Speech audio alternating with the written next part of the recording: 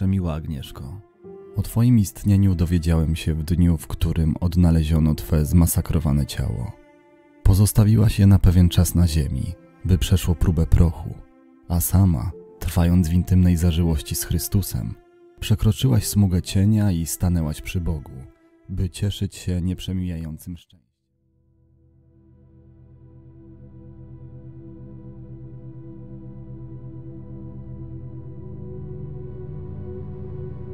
Zaczęły opowiadać o tym, co działo się nad Ślęzą 3 stycznia 1997 roku, przesłuchujący je policjant nie mógł uwierzyć w słowa nastolatek.